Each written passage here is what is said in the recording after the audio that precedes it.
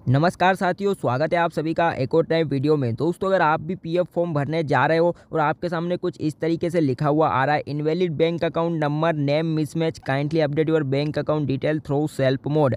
इस तरीके से दोस्तों, अगर आपके सामने प्रॉब्लम आ रही है तो दोस्तों, इस वीडियो को आपको स्टार्टिंग से लेकर एंड तक पूरा देखना चाहिए। दोस्तों, आज के इस वीडियो में आपको इसका कारण भी बताऊँगा और इसका सोल्यूशन भी बताऊँगा, किस तरीके से आप इस प्रॉब्लम को ठीक कर सकते हैं। तो दोस्तों, चलिए वीडियो को शुरू करते हैं। दोस्तों, अगर आप भी पीएफ के और भी इसी प्रकार के वीडियोज़ देखने में इंटरेस्टेड हो तो दोस्तों आप हमारे चैनल को सब्सक्राइब कर लीजिए, क्योंकि दोस्तों यहाँ पर आपको पीएफ से रिलेटेड वीडियोज़ मिलते रहते हैं। तो दोस्तों चलिए वीडियो को शुरू करते हैं।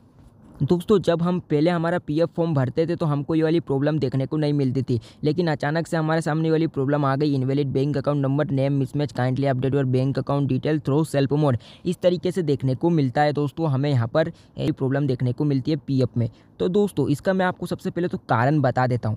दोस्तों, इसका कारण एक ही है। आपका जो है पीएफ अकाउंट में आपका जो है नाम अलग है और दोस्तों, जो मतलब कि आपका बैंक अकाउंट में आपका नाम अलग है। मतलब पीएफ में आपका नाम कुछ और है और आपका जो है मतलब कि बैंक अकाउंट में नाम कुछ और हो गया है। मतलब मिस मैच हो गया आपका नाम गलत हो गया है। तो दोस्तों, इसका कारण यही है, आपका जो है नाम गलत हो गया है। तो आपको अपना नाम जो है बैंक अकाउंट में सही करवा लेना है, तब जाकर दोस्तों ये वाली प्रॉब्लम ठीक हो जाएगी। अगर दोस्तों ये वाली प्रॉब्लम आप बैंक अकाउंट में भी अपना नाम ठीक कर लेते हो मतलब पीएफ में भी आप अपना नाम सही कर लेते हो और जो आपका बैंक अकाउंट है, उसमें भी नाम सही कर लेते हो। अगर फिर भी और ये प्रॉब्लम ख़त्म नहीं होती तो दोस्तों आपको करना क्या है? आपको जो है बैंक अकाउंट बदल देना है। मतलब कि जो आपका जो पूरा भी जो आपका अकाउंट नंबर पीएफ से जुड़ा है, उसको आपको चेंज कर देना है। आपको कोई अपना दूसरा अकाउंट नंबर दे देना है। मतलब खुद का अकाउंट नंबर आपको देना पड़ेगा आपको चेंज कर देना है। तो दोस्तों ये वाली प्रॉब्लम मतलब कि हट जाएगी। तो दोस्तों इसका कारण एक ही आपका जो नाम मिसमैच हो गया, गलत हो गया है। तो आपको खुद से अपना जो अकाउंट नंबर चेंज कर देना है, या फिर आपको नाम चेंज करवा लेना है। अगर दोस्तों नाम चेंज करवाने के बाद में भी ये वाली प्रॉब्लम ठीक नहीं हो तो आपको अपना खाता नंबर चेंज कर देना है।